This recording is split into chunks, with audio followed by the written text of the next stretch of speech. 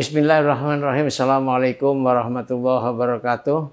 Labaik Allahumma labaik, labaik la syarika laka labaik, innal hamda wa ni'mata laka wal mulk, la syarika lak.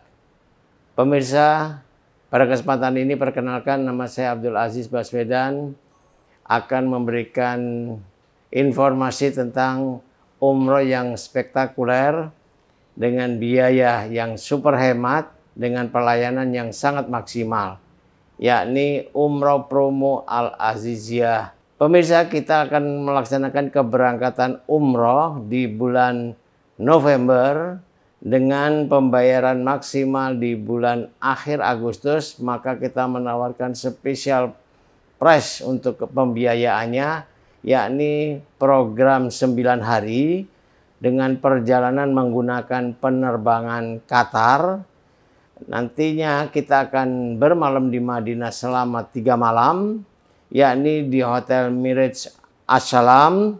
Kemudian kita akan bermalam di Mekah menggunakan Hotel Bintang 5 Le Tower selama empat malam. Kali ini memang super-super murah, super-super hemat, dan super-super bahagia. Kenapa? Karena kita hanya dengan mengeluarkan biaya sekitar 25 jutaan, Bapak Ibu bisa berangkat umroh dengan pembayaran super hemat. Bapak Ibu sekalian, eh, pada kesempatan ini juga kami infokan bahwa banyak hal yang positif. Kita akan berkumpul di bandara pada saat keberangkatan menggunakan fasilitas lounge. Kemudian tentunya akan dikawal atau ditemani dengan satu orang atau seseorang yang merupakan tour leader yang akan membawa Bapak Ibu dari berangkat hingga pulang. Dan satu hal yang positif lagi Bapak Ibu sekalian, pada saat tawaf sa'i, Bapak Ibu tidak perlu eh, ragu-ragu eh, karena kita akan berikan setiap jamaah itu earphone yang fungsinya cukup dengan mendengarkan dan menirukan suara mutawif, maka Bapak Ibu tidak terlalu ribut dengan buku doa walaupun buku doa ada di uh, setiap jamaah.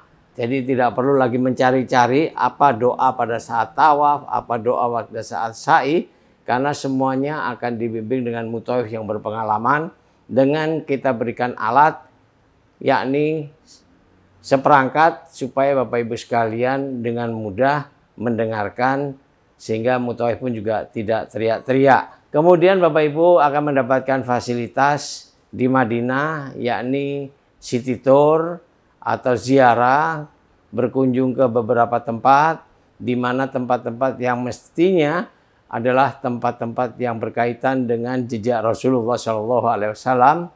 Kita akan berkunjung ke Masjid Kuba, kemudian kita akan berkunjung ke kebun kurma, kemudian kita akan melewati masjid yang pada saat itu Rasulullah mengadakan sholat dengan dua kiblat yaitu Masjid Kiblatin. Setelah itu kita akan berkunjung atau ziarah ke uh, Gunung Uhud di mana Rasulullah pada saat itu melakukan peperangan dan masih ada uh, satu jenazah paman Rasul yang masih ada bekas uh, sejarah yang ada di kisaran Gunung Uhud. Setelah itu Bapak Ibu sekalian tentunya pada saat di Mekah kita akan melakukan dua kali uh, city tour. City tour pertama kita akan melewati jejak-jejak bagaimana jamaah haji melakukan manasik, yaitu kita akan berkunjung ke Jabal Sur, kemudian dilanjutkan ke Jabal Rahmah, kemudian nantinya berakhir di Jerona untuk melaksanakan umroh yang kedua. Di mana umroh pertama kalinya tadi dilakukan melalui mikot di Bir Ali dari Madinah kita menuju ke Mekah maka kita mikotnya di Bir Ali.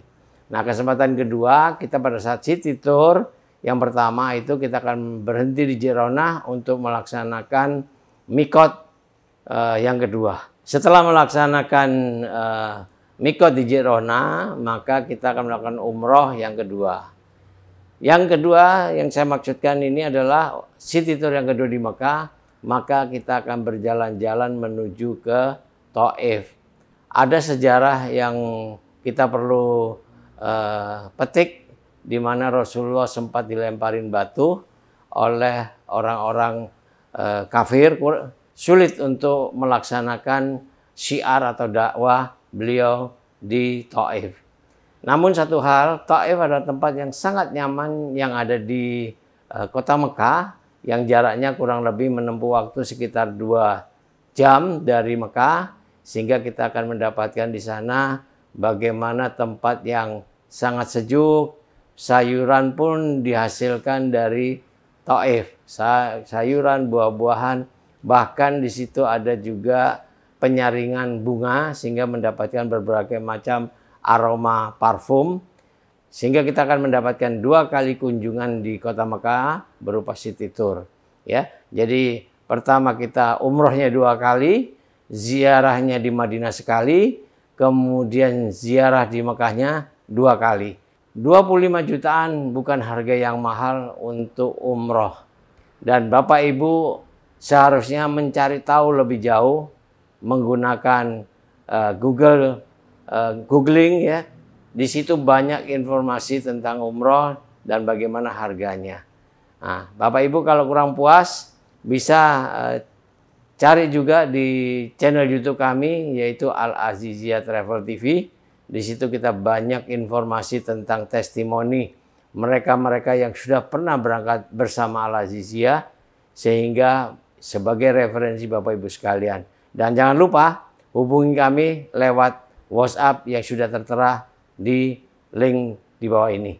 Terima kasih Bapak Ibu sekalian, kami tunggu kabar baiknya. Insya Allah Bapak Ibu akan dimampukan untuk berangkat umroh bersama Al Tour and Travel.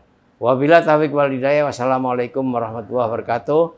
Salam hangat dari Al Tour and Travel Abdul Aziz Baswedan. Terima kasih.